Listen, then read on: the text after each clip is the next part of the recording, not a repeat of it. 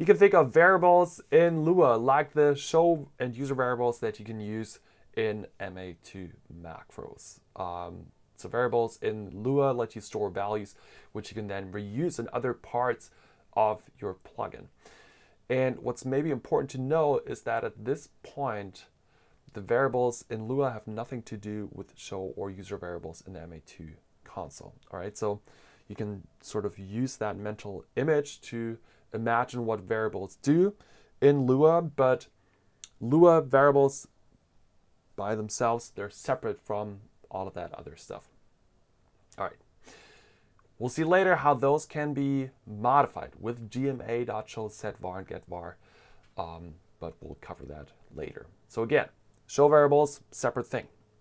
Back to the Lua variables. There are two kind of variables in Lua, local and global. And the local variables, they're only available inside of your plugin, which is great, while global variables are available across plugins. So one of the most important things I want you to remember when using variables Lua is this. Only use local variables. I cannot even stress this enough. Um, let's put it more bluntly. Do not ever use global variables in Lua because you will create a special version of hell for yourself.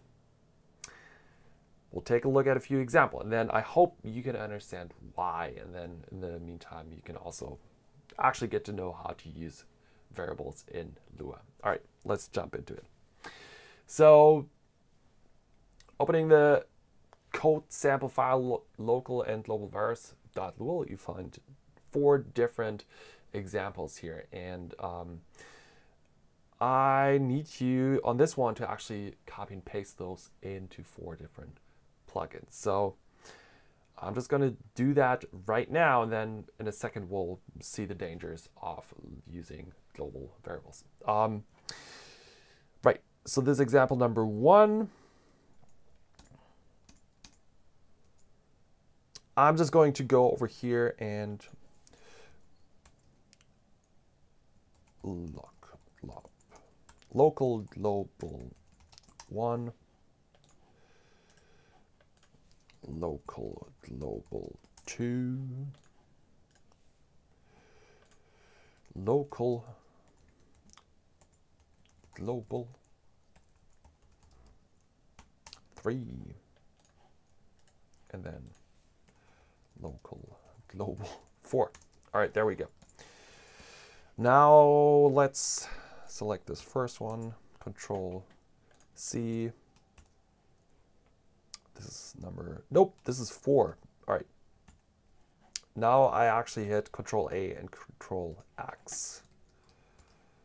Again, Control A, Control V to insert it. Jumping back in here, Control C, Alt Tab over to the plugin window, Control A, Control V, Alt Tab back to the code window, Control C, right click, Control A, Control V to insert it. All right, and we'll take a look at the code in just a second. and the last example. Whoopsie. Nope. Control C. All right. Now, um, let's take a look here. Uh, what do we do first? If you now execute this first plugin, you will see that we are setting a variable here. And this will be picked up by the second plugin in just a second. But first I need to explain. In general, when you write any sort of text in Lua like that and you use this um, equal operator to actually assign a value to it, then you just created a variable. And unless you write the keyword local in front of it, it's a global variable. And what's interesting, I'm going to run these two plugins in just a second, and we will see that this first value that's set in the first plugin is actually going to appear over here. And what I'm actually going to do first is just run the second plugin, and it says something like nil. This is always the case when Lua sort of, you know, if, if there's not a value set for something. So in this case, it doesn't even find this you know variable at this point. Now though, pay attention. We're now executing executing this first plugin and now we're running the second plugin again and all of a sudden there is a value. So you saw that between the two plugins there was this value set that was now used in the second plugin. All right. And what's special here, I mean, not special, but the, the danger is that you can change around the value in the first uh, example plugin. You will see that the second example plugin will output the updated value.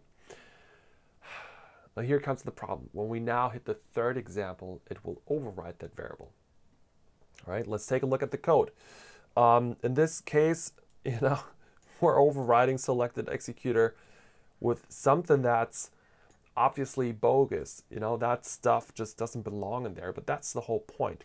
Now, if we hit this third plugin and we run our second again to come back to that selected executor, oh, all of a sudden, it was accidentally overwritten as the text suggests. The problem is that in this case, it's clearly not a valid executor anymore. And that's exactly the point. You will accidentally overwrite your global variables and that will create a huge mess. And, you know, you might be able to handle that quite well for just a couple of plugins. But then over time, your amounts of plugins grow and all of a sudden you have separate plugins that instead are tightly tangled together because they all, you know, sort of rely on these values that some other part of your code said. So that gets you into a really deep mess really fast. All right. Instead, what you want to do is use local variables. And that brings us to the fourth example. So let's take a look at the code. And in this case, what we're doing is um, we're actually defining a local variable by adding the local keyword in front of it. And now when we execute that plugin, we can see that the value being printed onto the command line feedback um, that we defined earlier um, is actually being used here. No surprises. So let's just run this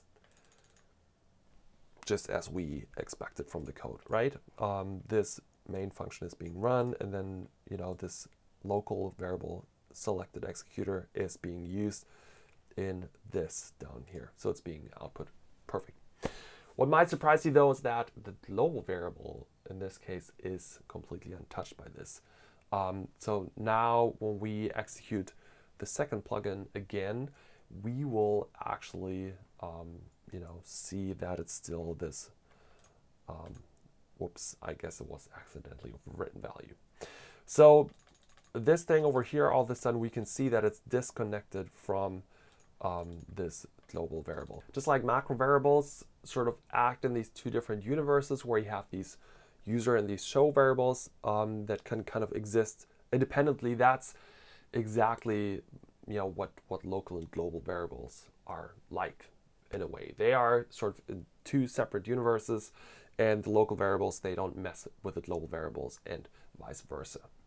So now that you know the difference between local and global variables, take a look at the next two videos where I'm going to use variables to show you how you can deal with numbers and text in Lua.